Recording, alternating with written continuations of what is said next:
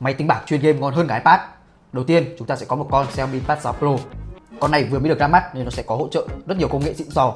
Thứ nhất là một cái màn hình 11 inch, màn IPS LCD 1 tỷ màu và tần số quét lên tới 144 Hz. Nó sẽ hỗ trợ công nghệ HDR10 và Dolby Vision, độ sáng của nó là 550 nit. Tiếp đó là camera của em này sẽ là 50 megapixel, 2 megapixel và cam trước là 20 megapixel. Con này thì đang được trang bị con chip Snapdragon 8 Plus Gen 1 cực kỳ là mạnh mẽ.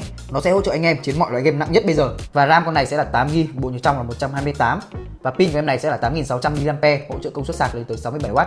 Ngoài cấu hình khủng khiếp như mình vừa kể trên, con này nó còn có ngoại hình cực kỳ đẹp với khung nhôm nguyên khối. Mặt trước thì được trang bị tấm kính cường lực khá là ngon, cầm trên tay chắc chắn đẹp hơn mấy con iPad cùng tầm giá. Tiếp theo chúng ta có một con Lenovo Legion i700. Con này cũng cực kỳ là ngon luôn.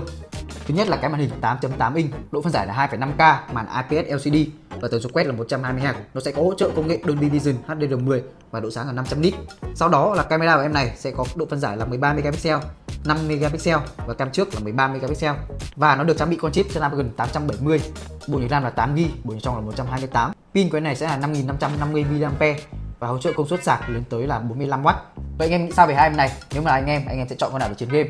Hãy để lại ý kiến của mình ở dưới phần bình luận nhé. Top 3 cái máy tính bảng giá rẻ ngon hơn cái iPad phần 2. Đầu tiên trong danh sách này đó chính là con Xiaomi Pad 6.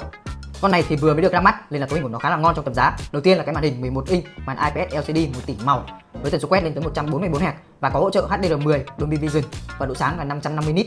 Camera sau của nó sẽ là 13 megapixel và camera trước là 8 megapixel. Con chip của nó đang được sử dụng là chip Snapdragon 870 7 nanomet, khá là ngon. Và bộ nhớ RAM của em này sẽ là 6GB, bộ nhớ trong là 128GB và pin của em này sẽ là 8840 mAh và hỗ trợ công suất sạc là 33W. Vì con này nó là dòng máy tính bảng khá là cao cấp của Xiaomi, thế nên là độ pin của nó khá là ngon cùng với khung nhôm nguyên khối và cái màn hình của nó cực kỳ sắc nét, độ phân giải màn hình khá là cao. Và con máy tiếp theo trong danh sách này đó chính là con Xiaomi Pad 5 Pro.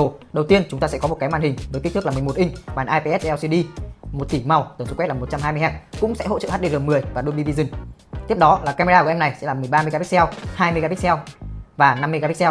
Cam trước của nó sẽ là 8 megapixel và con chip được trang bị là con chip Snapdragon 870 7 nanomet và bộ nhớ RAM của em nó sẽ là 6GB và bộ nhớ trong là 128. Viên pin của em này là 8600 mAh và hỗ trợ công suất sạc lên tới 67W. Và em này cũng thuộc dòng cao cấp của máy tính bảng Xiaomi nên độ build của nó khá là ngon, ngoại hình cực kỳ đẹp. Thứ nhất là khung nhôm nguyên khối này, thứ hai là cái kính cường lực của nó khá là ngon nữa. Cầm trên tay cực kỳ sang trọng luôn, sang trọng hơn rất nhiều mấy con iPad cùng tầm giá. Và con máy cuối cùng trong danh sách ngày hôm nay cũng là con Xiaomi Pad 5 nhưng mà nó là phiên bản 12.4 inch. Và nó có điểm gì khác biệt so với con Xiaomi Pad 5 phiên bản thường? Đầu tiên là cái màn hình của nó có kích thước lớn hơn là 12.4 inch, màn IPS LCD, tần số quét là 120 Hz, cũng sẽ có hỗ trợ HDR10, Dolby Vision, độ sáng là 500 nit. Camera sau của nó sẽ là 50 megapixel và 2 megapixel. Camera trước sẽ là 8 megapixel. Và con chip của nó được trang bị là con chip Snapdragon 870, bộ nhớ RAM là 6GB, bộ nhớ trong là 128.